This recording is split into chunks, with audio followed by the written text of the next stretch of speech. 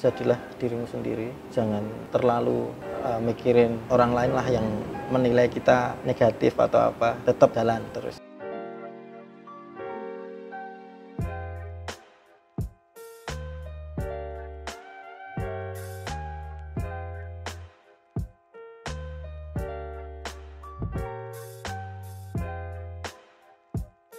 Assalamualaikum warahmatullahi wabarakatuh. Ketemu lagi dengan gue Wendy Cagur di Miti Artis. Kali ini gue menyambangi kota yang sudah lama nggak gue sambangi. Kebudayaannya sudah pasti luar biasa. Orang-orangnya juga sudah pasti sangat menyenangkan, ramah tamah. Tempat kulinernya juga banyak banget. Dan yang pasti di tengah kesibukan gue, gue akhirnya bisa silaturahmi, datang ke Jogja dan bertemu langsung sama salah seorang seniman eh, street art yang lahir, besar dan juga berproses di Yogyakarta. Kalau ngomongin sepak terjang luar biasa lah, bukan hanya lokal, interlokal doi udah jabanin pokoknya. Semua kayaknya. Dan alhamdulillah juga eh, gue dikasih kesempatan untuk bisa ngobrol langsung sama Run, EKE Kristianto. What up?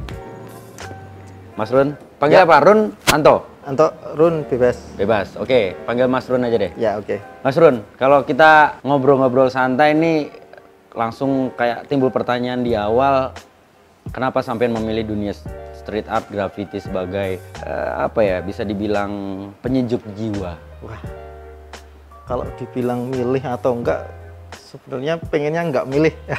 Cuman kan eh, setelah ada proses Oke, langsung masuk ke dunia grafitis ini sendiri kan awalnya nggak terlalu tahu masalah graffiti, street art atau apalah masalah tiba-tiba eh, lihat majalah di situ ada gambar semacam gambar semacam coret-coretan yang menurut saya itu sangat-sangat bagus lah kalau dibilang suka suka kalau dibilang penasaran penasaran sangat-sangat penasaran itu dimulai kapan sebenarnya? itu awal 2003 itu udah mulai istilahnya eh, belum turun langsung ke jalan baru eh, bikin sketsa eh, bikin coret-coret di baju kan waktu itu masih eh, SMA kelas 2 Oke, bikin tulisan di meja Mm-mm. eh, coret-coretan di papan tulis oke. terus Udah jadi guru ya dari SMA ya? Ya. Nyoret-nyoretnya di papan tulis, keren loh itu. Terus? itu eh, terus 2004 udah mulai ya nyoba-nyoba lah pakai cat. Dulu kan belum tahu kalau graffiti eh, pakai cat semprot atau Ya. apa gitu. Pakainya cat terus lama-lama saya baca ada semacam majalah lagi dari teman saya. Ini tulisan atau huruf yang dimodifikasi sekian rupa itu adalah kalau dibilang street art graffiti lah di situ sepertinya harus mendalami lebih. Saya eh, cari tahu dari teman-teman juga nyari info sebenarnya graffiti itu seperti apa sih? Kita harus ngapain sih? Hmm. selain membuat tulisan gambar di jalan. Dulu dulu belum tahu sama istilah tagging atau apa. Tahunya cuma coret-coret gitu Iya. aja. Cari info-info ternyata ini namanya tagging. Ini namanya throw up. Ini namanya space. Kayak kayak gitu. Berproses sampai ya kalau prosesnya agak-agak lupa sih. Yang jelas step-stepnya dari awam bener-bener awam nggak tahu itu kita harus bikin inisial atau apa itu Tapi sebelum sebelum yang kelas 2 SMA itu sebenarnya ada ketertarikan gak sih di dunia gambar? di dunia gambar ada itu kan masih SD TK TK lah TK SD itu sebenarnya nggak nggak terlalu inget sih cuman ya beberapa ada yang soalnya ada kayak piagam piagam itu ternyata disimpan sama Ibu. ibu bapak dan oh ternyata pernah uh, menang lomba Pidato. mewarnai kayak Oh, mewarnai. Oke. mewarnai menggambar kayak gitu cuman kan lucu juga ya istilahnya uh, dulu belum istilahnya belum terlalu paham lah Ya. kita ya kalau di sekolah cuman ya sukanya coret-coret ya diceritain sama bapak ibu kalau sukanya coret-coret dinding-dinding itu udah mulai digambar-gambar kayak gitu Oke. Orang tua support gak sih sebenarnya? kalau orang tua saya sendiri cuek lah soalnya dari SMP Cueknya karena udah udah mereka udah eh, sibuk sama pekerjaan Oke. sibuk eh, nyari nafkah lah kayak gitu jadi nggak nggak terlalu di bentukan supportnya ya sudah membebaskan ya untuk- membebaskan saya tiga bersaudara dari kakak saya sendiri sudah nggak di rumah lah dari SMP juga dia ikut balap liar gini-gini udah sampai dia di eh, angkat anak sama orang sampai sekarang ini juga masih jadi pembalap gitu Agak berbeda ya. agak berbeda ya jelas Biasanya adik suka ngikutin kakak nih. ya Kenapa anda tidak tertarik untuk ikut eh, seperti kakak? pernah pernah sih nyoba buat Oh, pernah nyoba balap? Pernah nyoba. Oh, oke. ternyata bukan di situ iya itu Yang ada di bayangan lu ketika balapan lu tetap pengennya coret-coret. Iya, Agak kan susah sempet- ya. Iya, sempat sempat ikut 2006 2000 2005 itu pernah ikut bengkel juga sih. Tapi tetap gambar. Oke. Soalnya kan dulu mau cari istilahnya satu kaleng aja Susah berat susah ya? iya. Iya. Sampai di apa kerja kerja nggak nggak nggak pasti kerjanya serabutan lah. Oke. Cuman buat beli kaleng. buat gitu. beli kaleng. Iya. Pada saat itu hanya bersenang-senang. Iya. Kalau sekarang kita ngomongin sekarang ini udah masih menjadi bagian senang-senang lu atau sudah menjadi bagian lu mencari nafkah? yang jelas senang-senang sih kalau nafkah itu bonus Oke. kalau buat saya kalau eh, gimana ya ya pasti ada timbal baliknya lah. Soalnya dari dulu juga saya juga nggak ngitung berapa yang sudah aku keluarin buat eh, graffiti buat street art buat gambar di mana-mana itu. Nggak nggak nggak terlalu nggak terlalu saya hitung atau gimana. Yang jelas semuanya udah ngalir lah dapat eh, job eh, sekian. Nanti ya habisnya juga buat beli cat lagi muter terus. Muternya ke situ Iya, ya? gitu. Mau sampai kapan?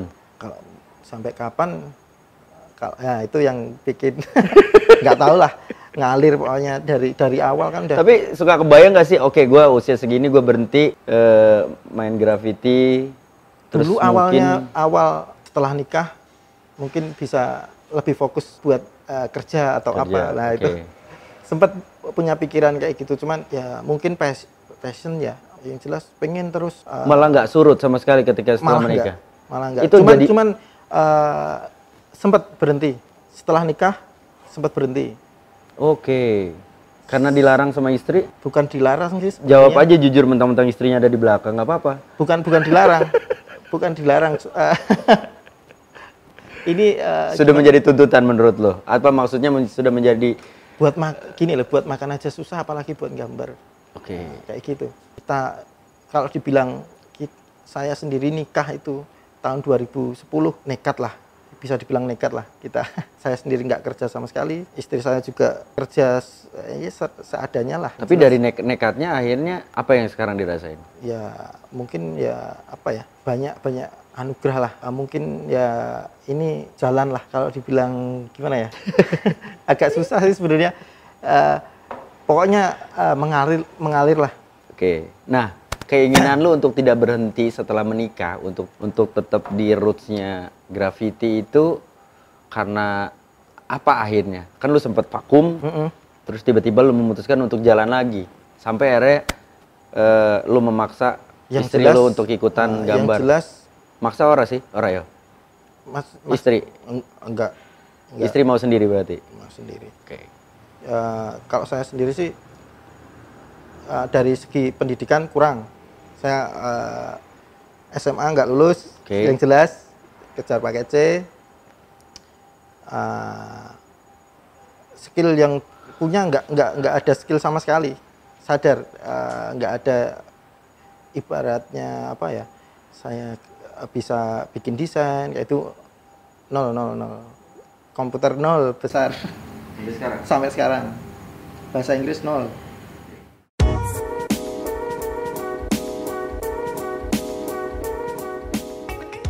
Oke, kalau kita sedikit flashback ke ke jalur pendidikan lo, Hmm.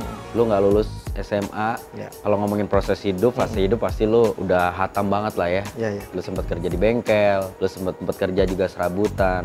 Lo bilang susah untuk beli alat untuk gambar. Nah, sekarang lo berada di posisi lo malah bisa dibilang Tuhan kasih lo keleluasaan untuk bisa Hmm. simpelnya lo mau gambar kapan aja lo bisa. Lo punya toko. Apa nama toko lo? Flame Flame. Lu punya toko, lu juga sebagai salah satu orang yang berkuasa di distribusi cans yang lumayan terkenal dan mungkin akan sangat terkenal nanti di Indonesia. Sudah banyak yang pakai juga gitu.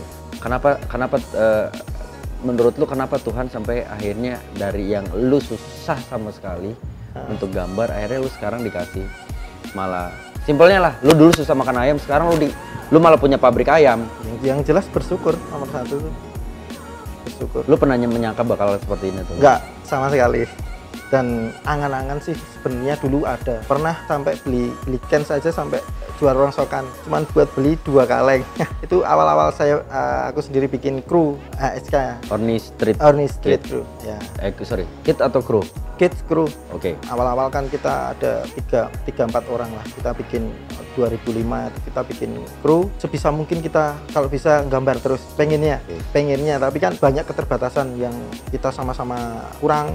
Akhirnya nah gimana ya kalau kita kita apa cari-cari besi-besi atau apalah itu ya iya pengalaman yang sampai sekarang sempat kemarin ketemu sama teman-teman yang pas bikin awal bikin Susah, itu. ya, pas Ah, susah pas awal. susah itu. Kita sekarang udah punya toko masing-masing. Kita sempat ketemu kita cerita kita ketawa-tawa. Wah dulu kita susah. Memang benar-benar kita sampai juara so dibela-belain beli cat beli cat dulu kita eh, beli dua kaleng satu kilo cat tembok buat fill lah buat blok baru kita pakai kaleng. Cuman satu dua sih.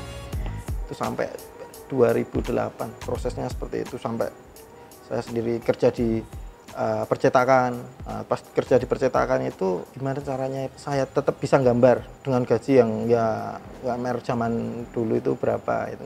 Itu sangat sangat susah. Itu sampai ada stiker itu dipotong-potong sendiri digambarin sendiri ditempel-tempel. Gue pernah Kreatif- ngalamin juga sih. Kreatif ya, ya, ya, ya, ya, ya, ya. Tapi emang begitu kan, orang kalau dalam kondisi tertekan biasanya dikasih Iya, iya, kreatif iya, iya. kan. Mungkin memang lu harus dikasih susah dulu untuk bisa kreatif.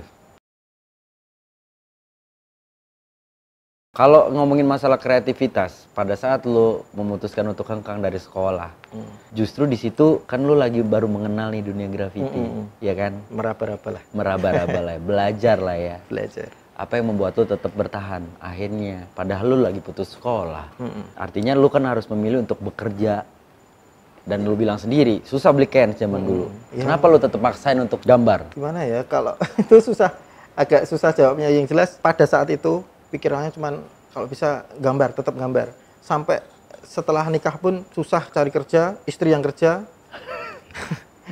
Oke, emang harus diberdayakan nggak apa-apa. ya kan istri yang kerja sampai kayak gitu tiap hari berantem mulu cari uangnya dari ya kalau ada graffiti competition pasti ikut pasti ikut. Sampai teman-teman pasti ada yang bilang wah iki cah lomba iki. Ya, tapi ya puji Tuhan lah tiap kali lomba diberi juara lah. Juara. satu dua tiga satu dua tiga atau sampai ke mana-mana. Mau gimana ya? Kerja enggak gitu loh. Oke. Berarti lu tanpa lu sadari sebenarnya mau nggak mau sebenarnya nggak, I mean eh, tanpa lu sadari graffiti sudah sudah sudah menjadi cara lu untuk mencari nafkah iya dong. secara tidak langsung Berapa lama itu berlangsung lu ibaratnya dua tahun ikutan lomba terus? dua tahun Yang Setelah memutuskan lu berhenti berhenti lomba berhenti karena lomba terlalu setelah- sering menang. Enggak, enggak. Karena apa ya? Dulu eh, ada tawaran sih. Kita eh, saya sama istri sampai kerja di Bali. Oke. Tiga bulan. Ikut saudara lah. Itu buat eh, gambar juga di situ. Sampai tiga bulan terus pindah ke Jakarta. Sama pekerjaannya. Gambar sampai kita balik lagi ke sini. Kita punya modal. Modal itu sampai sini cuman bisa buat ngontrak. Yang jelas eh, pengennya itu keluarlah dari dari dari rumah nggak ikut orang tua Oke. pengennya mandiri Pengennya mandiri. kita ngontrak ya itu mulai itu ikut-ikut lomba terus istri yang kerja pada waktu itu kerjanya ya cuman malah nggak ada kerjaan malah nggak ada kerjaan sama sekali Oke, Sebe- kalau boleh tahu sebenarnya seberapa seberapa berat lu membangun eh, eh, kerajaan lu sendiri nih di dunia graffiti? Bukan bukan gua bukan gua bilang bahwa Seberapa? lu raja da- di dunia graffiti tidak. Lu membangun membangun kerajaan lu sendiri Mm-mm. buat diri lu sendiri dari nol sampai Sampai sekarang. Seberapa berat? Ada tahun yang paling berat gak sih sebenarnya? tahun paling berat itu setelah nikah 2010 sampai 2012 Apa pergo- ada pergolakan di diri lu atau atau memang Ya, lu harus jelas. berhenti? ya ya yang jelas saya udah punya istri nih saya harus cari makan nih di saat itu kan wah kelihatan kalau nol besar. Kalau grafiti memang benar-benar nggak bisa buat dijagain atau apalah. Ya di situ juga banyak belajar uh, sampai dapat tawaran ke mana-mana istilahnya uh, kerja di sini kerja di sini pernah kerja di fried chicken lah Oke. itu cuma satu hari sampai satu hari masuk keluar Oh, iya. istri marah-marah apa ini udah dapat kerja malah Bagus mbak, bagus. Iya iya iya. Keren sih kerja sehari itu keren loh. iya Apa lo? Kenapa lo memutuskan hanya sehari gitu?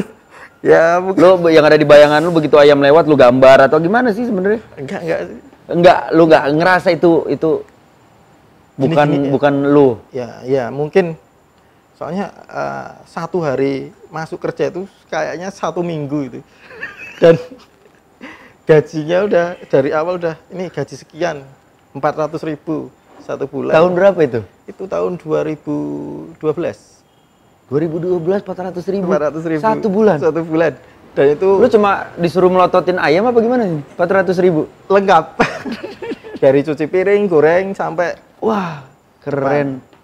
Keren, keren, keren, keren. Kalau gua pun jadi lo iya kayaknya. ya Mutusin untuk mundur kayaknya ya. sampai punya pikiran wah sebaiklah orang Jawa luweh lah istri mau marah-marah itu padahal yang nyariin kerja juga om saya Oke. sampai om saya juga marah-marah juga Gua tahu alasannya kenapa om lu menawarkan lu kerja di situ. Karena dia juga sebenarnya udah sebel ya kerja di situ. Akhirnya harus ada yang dikorbankan nih tetap lu kayaknya ya masih baru gitu kan fresh graduate masuk tiba-tiba nggak kuat menghadapi istri. ya tapi momen yang paling momen yang paling memang benar-benar merubah hidup sampai aku kayak gini lah itu kalau di nalar nggak bisa lah gitu aku nggak kenal sama orang itu dia kerja di minyak di Singapura waktu itu. Tiba-tiba dia eh, telepon lah mas katanya punya pengen buka toko. Wah, siapa ini? Kan juga nggak tahu. Hmm. saya dapat nomor mas dari teman saya gitu. Kalau mas mau nanti tak modalin berapa. Itu masih dulu ngekos di daerah Jogja Selatan itu di makam itu tengah-tengah makam itu dulu Oh sampean sempat jadi kuncen. iya semacam kuncen Oke. itu Se- eh, kita bahas itu nanti. Eh, tadi ada pertanyaan yang menggelitik di gua. Menghadapi istri pada saat lu memutuskan berhenti kerja, istri yang marah. Ini sedikit keluar jalur lah ya dari dunia street art. Tapi Iya, iya. udah- ini udah jadi bagian dari hidup lo. iya iya Bagaimana meyakinkan istri lo bahwa gue memang eh, nggak cocok kerja di situ? meyakinkannya ya kalau kalau aku sendiri sih orangnya cuek sih sebenarnya. Nggak terlalu ya ya ini bukan bukan pekerjaanku. Aku nggak pengen di sini gitu. Cuman ya udah jawabnya cuman kayak gitu. Cuman diem aja lah. Nanti kalau ada saatnya juga pasti kerja. Udah nggak kerasa udah dua tahun. Itu susahnya di situ. Berarti dua tahun jobless. ya. Jobless terus nggak gambar. ada sih gambar cuman kan ada teman sup- yang support juga Oke. teman satu kru. Sekarang dia malah nggak gambar dia. Aku nggak bisa gambar. Ayo kita gambar. Wah aku lagi susah ini. Udah eh, ini tak kasih sekian. Buat gambar ayo. Yang yang yang penting kita gambar itu. Banyak teman-teman yang support Oh. lah banyak sekali. Ayo gambar kayak gitu. Banyak sekali. Berarti kalau ngomongin yang support pasti banyak. Nah sekarang kalau kita ngomongin kru lo masih berjalan nggak sih? masih berjalan cuman kan udah beda generasi yang yang bikin kan saya terus lima orang udah bubar semua sekarang namanya sama beda formasi Beda formasi. Totalnya udah ada berapa orang? sekarang ada enam Ada enam orang. Semuanya di Jogja. enggak Jogja dua Solo dua Malang satu Bali satu Tapi sering ketemu atau hanya komunikasi via telepon atau gimana? kita ada grup sih sebenarnya kalau kita kalau saya sendiri kan sering muter Oke. sering ke Solo buat nemuin mereka kadang mereka ke Jogja buat ketemu kita cuman kan belum belum belum pernah kita ketemu satu formasi itu penuh itu belum Seberapa pentingnya kru buat lo? kru kru itu seberapa penting sangat penting kalau menurut aku sih itu semacam keluarga kecil lah mereka yang selama ini support banyak memberi motivasi banyak memberi masukan Apa yang membedakan kru lo dengan kru yang lain? Kalau ada. Yang membedakan apa ya kalau kalau yang membedakan mungkin rata-rata kru sama sih cuman kita punya eh, satu ikatan yang benar-benar beda Yang menyatukan kalian dalam satu kru tuh apa sebenarnya? Style yang sama kah?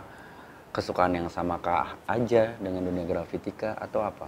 Atau memang ada seleksi khusus untuk bisa masuk ke, gabung ke kru? Siapa tahu yang nonton Hmm. MTA episode kali ini bareng lo Kalau kru mungkin kita satu sepaham lah. Kita punya misi yang jelas kita rata-rata eh, HSK ini sendiri punya toko masing-masing. Oke. Kita punya toko di Jogja. Di Jogja ada dua orang. Kita punya toko masing-masing. Di Malang juga, di Solo juga, di Bali juga ada toko. Cuman sekarang lagi vakum dia. Berarti syaratnya harus punya toko? Enggak. Enggak, kebetulan. Kebetulan. Berarti kita punya misi yang sama. Oke. Gitu. Ngomongin misi berarti eh, bisa dibilang ini hanya misi personal atau lu memang sama kru lu punya mu- movement tersendiri buat dunia graffiti? Kalau itu mungkin apa ya? Kita kita memang benar-benar gimana ya? eh, sebisa mungkin kita total lah di graffiti. Maksud dari total itu bukan kita harus tiap hari gambar, kita harus yang jelas kita eh, support lah di kota kita masing-masing. Kita punya andil lah di mana toko di di kota seperti di Malang. Susah nih cari tools. Eh, kebetulan satu kru saya ada yang buka di sana. Ini loh ambil ini ayo ini buka toko ini ambil barang lewat ini itu yang jelas relasi Sekarang kita ngomongin masalah style dalam graffiti. Hmm. Berapa kali perubahan style yang lo jalani? Apakah memang dari awal style lo seperti ini? Lo masuknya kategorinya apa berarti? Kalau berubah eh, kalau style saya sih sebenarnya wild style. Cuman terserah lah orang mau sebut itu simple piece atau apa yang jelas. Kalau aku sendiri pribadi enjoy lah. Hmm. aku pengennya kayak gini ya udah kayak gini. Aku pengennya nggak ada yang batasin ya itu. Oke. yang jelas ini pengennya aku kayak gini. Sama kayak teman-teman. Sempet gonta-ganti juga stylenya atau? jelas. Ganti dari awal. Masih eh, di base masih di letter. Cuman stylenya ganti pasti kalau aku sendiri dari tahun ke tahun pasti ganti ganti ganti terus Pernah merasa bosan gak sih? bosen kalau bosen belum pernah Sama sekali. sama sekali Kok bisa? Manusia itu diciptakan Tuhan kalau tidak salah Tuhan itu sadar betul. Gue pernah baca di mana gitu ya. Tuhan itu sadar betul. Hmm. Manusia itu diciptakan ada rasa bosan di dirinya. Nah, lu bisa sampai nggak bosan dengan dengan graffiti? graffiti? Setiap hari setiap hari eh, dari bangun tidur sampai tidur lagi kaitannya sama udah udah udah graffiti lah kerjaannya udah kayak gitu kalau bosen eh, aku kemarin-kemarin aja dapetin yang kayak gini aja susah masa sekarang udah bosen Oh, berarti suatu saat akan bosan. Berharap nggak? enggak susah Yes, yes, yes. dulu aja nyari nyari posisi seperti ini aja susah kalau sekarang bosen itu alasan ya, gimana ya menurut saya ra- rasa syukurnya udah berkurang Oke. Sepak terjang lo di dunia graffiti kan bukan hanya lokalan ya kita ngomongnya ya. ya, Hitungannya sudah keliling mancanegara lah. baru baru bukan mancanegara sih cuman baru berapa negara Ya hitungannya di luar negeri lah ya. Ya. Kota atau negara, sorry negara atau kota yang paling berkesan. Dalam negeri dulu deh yang lu pernah sambangi entah Makassar. itu. Oh Makassar. Makassar. Kenapa? itu pertama kali aku keluar dari Jawa Oke. tahun 2008 yang emang bener-bener nekat juga sih Sendiri ke sana. sama teman cuman kan Invitation atau emang iya, nekat trip aja ke nekat sana? trip aja Oke. udah udah ada niat sih pokoknya ada lomba ikut kalau bisa menang uangnya buat Bertahan di sana. Iya, Hidup di buat sana. keliling. Oh, buat keliling di sana. buat gambar yang jelas sana Oke. Tahun 2008 itu sampai Makassar itu kalau nggak salah beli tiket 275.000 dapat tiket travel dari sini ke Surabaya naik kapal dua hari tiga hari dua malam apa ya Kapal laut. Iya Oke. itu tidur di bawah skoci Keren. Sempat Sampai ketemu sama Jack Sparrow? Enggak. waduh Siapa tahu, siapa tahu ketemu gitu tengah jalan. Tidur di skoci, bawah skoci nah itu yang paling berkesan paling lo inget ya? Iya, Karena itu yang paling susah ya buat paling lo. susah Bel Nyesel gak sih lo di te- tengah perjalanan dengan kondisi lo nggak sebelum sampai Makassar nih kita nggak- ngomongin? nggak ada ya yang jelas bayangannya ya pengen lah gambar di sana Kenapa lo pengen gambar di Makassar? ya pengennya sih nggak cuma di Makassar sih Ya, I cuman mean, I mean kita kebetulan ngomongin sekarang Makassarnya nih. kebetulan diberi kesempatan ke sana dulu belum ada eh, Facebook atau apalah belum mengenal itulah. Gaptek juga kan. Cuman lewat dari teman-teman itu di sana ada anak gambar nggak? Ada ini temu sana kita gambar bareng kayak gitu seneng rasanya. Yang kota yang benar-benar kita belum pernah ke sana itu luar biasa. Kalau ditanyain masalah perkembangan sebenarnya ini dari sudut pandang lu sebagai seorang graffiti artist, graffiti writer dari lu memulai nol sampai sekarang. Kita ngomongin skalanya adalah tempat kelahiran lu, Yogyakarta. Perkembangannya seperti apa sih? perkembangannya Jogja luar biasa dari graffiti itu sebelum masuk sini sampai sekarang sangat-sangat luar biasa dari tahun ke tahun pasti ada generasi baru lah dan generasi baru itu yang benar-benar punya punya skill yang lebih dari dulu dari uh, angkatan yang awal-awal lah Oke. itu punya punya potensi yang bagus sangat-sangat bagus Menurut lu alasan terkuat lu bilang Jogja berkembang sangat pesat di dunia graffiti apa? kompetisi Karena Persaingan. banyaknya kompetisi. Ya, bukan kompetisi Oh, sorry. dalam kompetisi kompetisi apa ya personal. personal Oke. karena di Jogja sendiri setiap tahun pasti banyak yang baru jadi kita harus update terus style yang kita harus nyiptain lah style yang meskipun masih ada banyak yang ini kayak mirip inilah ini, tapi udah jempol lah buat mereka Buat lu sendiri, bagaimana mempertahankan eksistensi lu? Di tengah hiruk pikuknya, di tengah dahsyatnya, di tengah luar biasa majunya perkembangan graffiti di Jogja. bertahan kalau aku sih cuek aja sih cuman yang jelas uh, gambar konsisten sering komunikasi lah ke teman-teman Hanya sebatas itu ya? ya Nggak kepikiran pengen buka sekolah atau buka les tentang kalau dulu graffiti? kalau sekolah dulu itu pernah tahun 2000 berapa ya pernah ngajar di salah satu SMA juga sih dua SMA Di Tentang dua- graffiti? tentang graffiti Oke. cuman kan setelah jalan satu tahun ada di situ kan ada guru yang memang benar-benar uh, apa ya ini ini bukan seni. Oke. ini bukan seni ini ini cuman uh, coret-coret. Nah di situ banyak masalah lah. Ada yang guru yang mendukung ada yang guru yang enggak yang yang mendukung tuh sampai capek lah. Sudah capek lah banyak masalah.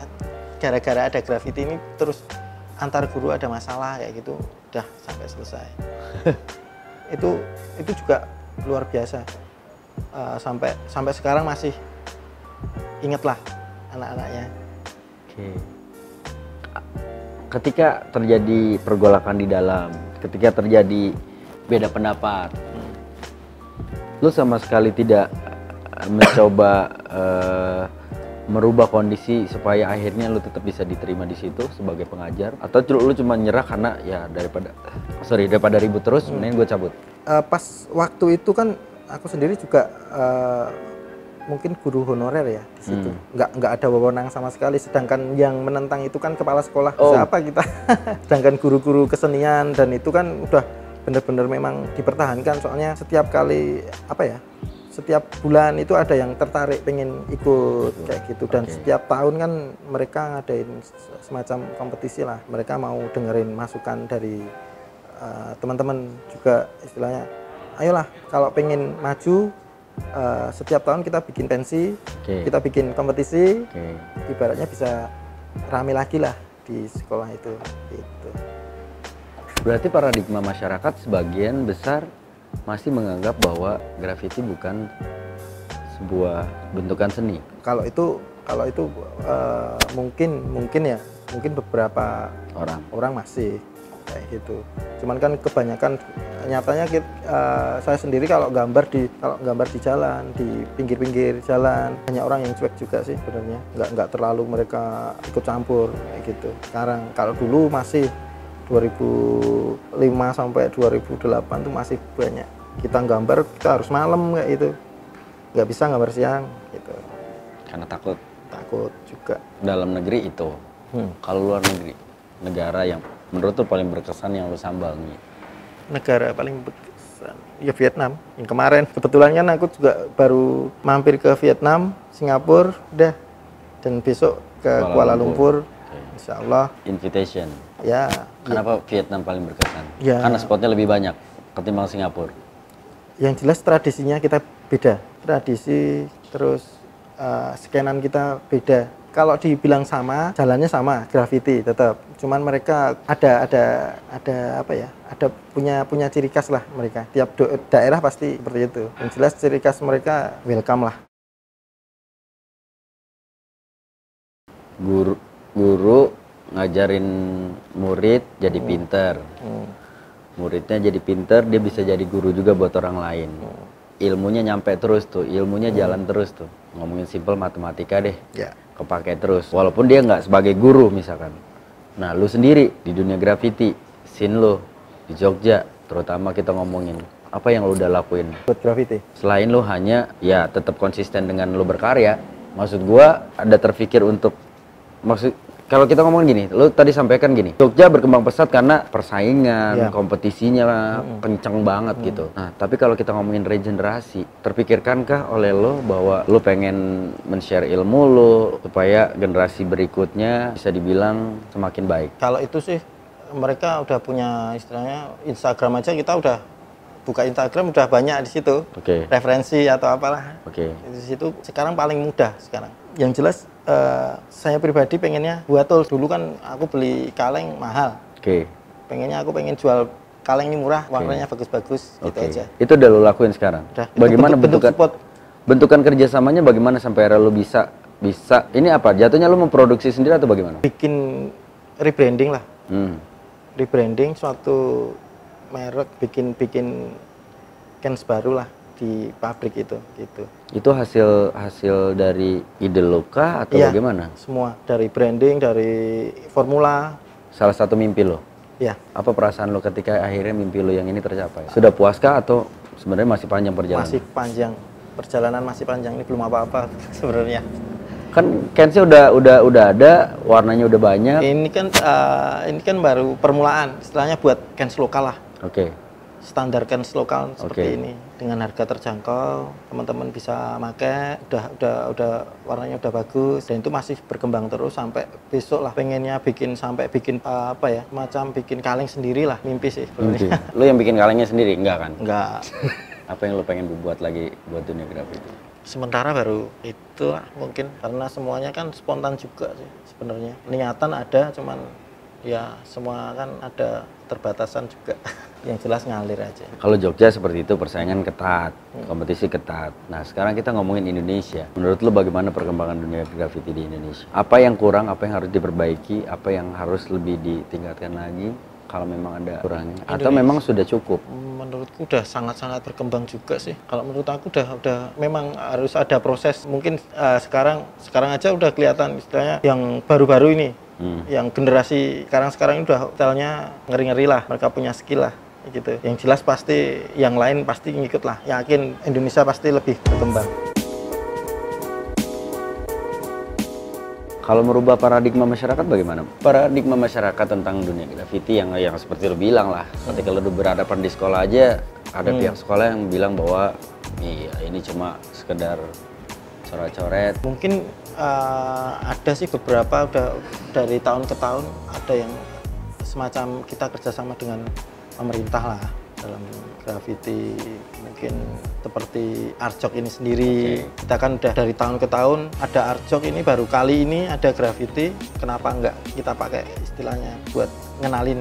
Ini eh, salah satu proses juga sih. Kita kemarin nggak nggak mikir sampai graffiti bisa masuk ke eh, bagian Arjok nggak sama Oh, oke. sekali Oke.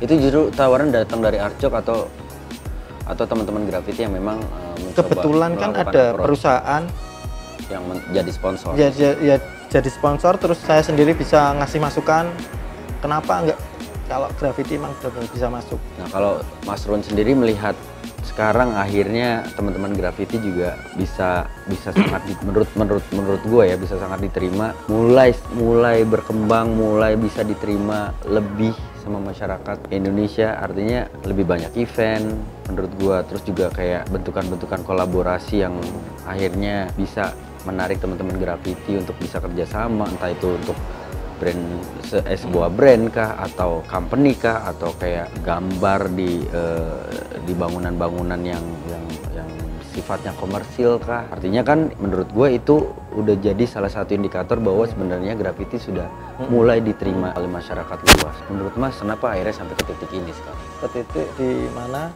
Masyarakat mulai menerima. Ya ya ya proses itu tadi dari dari kita sering kerjasama sama pemerintah sama perusahaan kayak gitu. Sedangkan eh, event-event kayak produk rokok atau apa kan pasti sekarang baru eh, makanya graffiti street art. banyak artis kita juga yang dari yang yang udah senior lah. Mereka udah sampai ke luar negeri lah. Ya itu yang luar biasa. Oke, buat para para pemula, para para teman-teman writer baru, ada pesan yang lo pengen sampaikan nggak sih ke mereka? Bagaimana memulai, bagaimana berproses dan bagaimana mempertahankan eksistensi mereka? yang jelas jadilah dirimu sendiri. Jangan terlalu uh, mikirin orang lain lah yang menilai kita negatif atau apa. Tetap jalan terus. Apa pun, Apa pun. komentarnya, ya jalan terus. Walaupun komentarnya pada akhirnya bisa sebenarnya membangun dia untuk bisa lebih baik lagi dalam segala hal, proses dan juga attitude-nya. ya mungkin uh, ya mungkin macam itu juga sih. Cuman yang yang yang jelek-jelek atau yang negatif nggak usah uh, istilahnya diterima dengan baik lah gitu Bagaimana memilah proses ini supaya bisa berjalan kasarnya dari awal bisa diterima sama masyarakat? Atau memang harus dimulai benar-benar dimulai dari buat sebagian orang, buat sebagian orang. Prosesnya memang harus dimulai dengan eh, pure di jalanan kah Iya. atau bagaimana? ya mungkin ya yang jelas uh, relasi lah kita harus koneksi kita harus bangun koneksi kita ya mungkin dari koneksi itu kenal satu sama lain respect dah mungkin Itu itu lu percaya itu bisa Iya. membawa lu ke jenjang yang lebih Iya. baik lagi. ya Bukan hanya sekedar berkarya Iya. tapi karya lu menghasilkan. ya pasti Oke, sebelum ke kita mengakhiri obrolan kita kali ini, apa perasaan orang tua lo melihat lo sekarang? yang jelas mereka tenang lah yang jelas. Ya mereka pasti melihat lah proses dari awal sampai sekarang mereka pasti lihat lah. Jelas mereka senang. Dan dengan doa mereka juga sampai aku sendiri sampai jadi seperti ini. Gitu. Dukungan istri sendiri, luar biasa. Istri yang ya selain teman-teman istri yang paling pengaruh sampai sekarang istri saya sendiri juga mulai gambar. tertarik ya tertarik dengan graffiti. Dan nggak mudah prosesnya buat pengenalan untuk dia sendiri masuk ke dunia graffiti. Iya, iya. soalnya ya di graffiti kan kita juga nggak tahu. Iya. Eh, kadang kan orang yang menilai. Mereka eh, istri saya juga kadang mikir kenapa kok teman-temanmu sampai kayak gitu? Gitu ya ya ini ya ini graffiti ada ada ada proses di mana orang saling menjatuhkan nah itu Ada. ada pasti dan di situ yang bikin kita kuat gitu. Apa yang membuat lo kuat? ya mungkin kalau sekarang ini ya ya istri yang jelas yang bikin kuat selain dia istri saya sendiri mendukung sering memberi masukan lah Nah sekarang ngomongin sedikit flashback lagi dengan cerita lo tadi. Ngomongin masalah nekat. Bagaimana lo meyakinkan keluarga istri lo sampai akhirnya mau mau menerima lo sebagai pendamping istri lo? Kalau Pada saat itu lo jobless atau punya kerjaan? nggak ada kerjaan sama Nah. sekali nggak ada kerjaan sama sekali nggak punya uang sama sekali Oke. cuman punya uang lima ribu Oke. itu itu saya sendiri uh, nikah itu pacaran baru tiga bulan Itu, uh, tiga bulan udah ya kita udah udah mulai kita ngomong serius lah gimana kalau kita ke jenjang selanjutnya Oke. itu Kalau istri lo mungkin lebih mudah diyakinkan. Keluarganya bagaimana? menurut kalau keluarganya Mungkin malah, akhirnya menurut gua malah, malah malah malah keluarga dari istri malah bilangnya kapan nih mau nah itu loh kayak gitu kapan nih mau serius berarti tidak ada Ya, masalah. nggak ada masalah sama sekali. Padahal kita beda agama itu loh. Oke. ya mungkin Tuhan memberi kita kemudahan kita udah kita beda agama nggak punya kerjaan. Oke. ditantang kapan nih mau serius? Kalau serius sini eh, orang tuanya. Ya aku sama istri waktu itu langsung ya datang ke bapak dulu. Kayak ke bapak itu eh, ya udah ini pengen apa kalau orang Jawa nembung lah Oke, kalau gue tanya menurut lo di dunia graffiti, selama lo berproses, selama lo berkarya, lebih penting mana skill sama sama attitude? attitude Kenapa? ya skill bagus attitude-nya nol percuma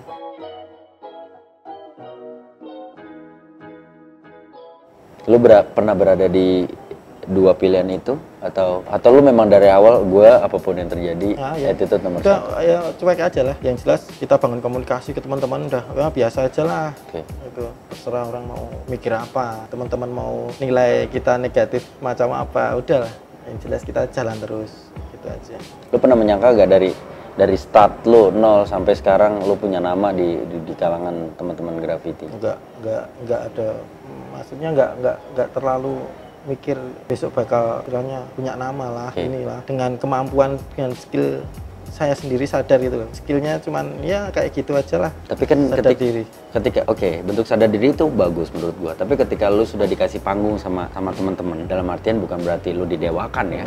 Artinya lu bisa dibilang eh, jadi salah satu writer yang eh, disegani sama teman-teman. Ada beban gak sih di lu kalau beban nggak ada sih. Bentuk bentuk tanggung jawab yang lu ngerasa bahwa gue punya tanggung jawab besar nih dengan gua. Simpelnya ketika gua sudah mulai dikenal sama teman-teman sama orang lain ada gak sih pertanggungjawaban paling berat buat lu? Kalau itu sih nggak ada sih mungkin malah eh, saya sendiri punya pikiran gimana kalau saya lebih bisa mensupport mereka ke teman-teman sampai sekarang. Gimana eh, cara saya sendiri bisa support ke teman-teman terus pikirannya kayak gitu. Karena lu memulai dari nol. Ya lu memulai dengan kesulitan. Kesulitan.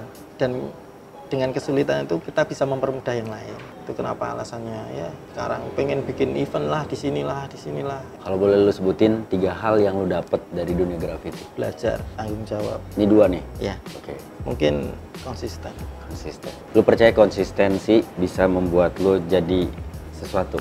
ya pasti Seberapa yakin lu akan bertahan di dunia graffiti? seberapa yakin ya saya yakin sampai sekarang ini masih yakin. Terus. Terus.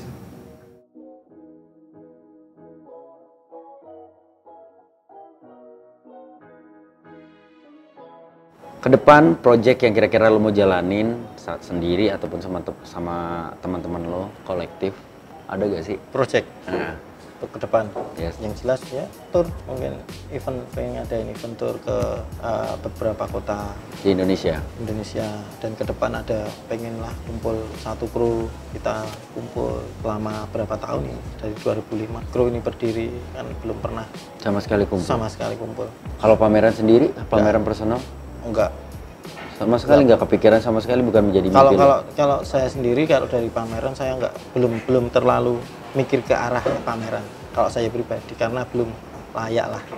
Kalau saya pribadi belum Tapi kalau ada yang menawarkan lu untuk untuk berpameran sendiri, sepertinya juga belum karena ya saya masih eh, saya sendiri masih ngerasa belum layak. Apa yang mau dipamerin? Karyamu. Karya yang apa? Nah, itu loh. Masih belum istilahnya untuk ski- skill aja masih kurang sadar. Oke, lu hanya sekedar berkarya atau lu sebenarnya mendalami setiap karya yang lu buat? Lu konsep setiap eh, karya lu kah? Atau atau memang ya sudah going with the flow aja, ngalir begitu ya aja? ngalir gitu aja lah. Mungkin setiap individu writer kan beda. Ya. setiap writer kan beda-beda. Kalau aku sendiri sih ngalir aja lah. Yang yang jelas eh, kalau bisa kita menginspirasi orang lain kenapa enggak? Bentukan inspirasi apa yang lu harapkan lu bisa sampaikan ke teman-teman di luaran sana? Iya, ya kalau bisa lebih istilahnya kalau aku sendiri kan cuma sekedar kerjasama lah dengan perusahaan. Kalau bisa lebih lah kalian untuk mensupportkan graffiti di Indonesia supaya lebih ke internasional. Amin, amin, amin, amin. Oke, sebelum kita menutup media artis episode kali ini, gua minta lo untuk menyebutkan satu kata yang merepresentasikan hidup lo. Satu kata. Bersyukur bersyukur. Gue yang dicagur Kristianto Eke Run. Pamit Meti Artis. Assalamualaikum warahmatullahi wabarakatuh. Thank you.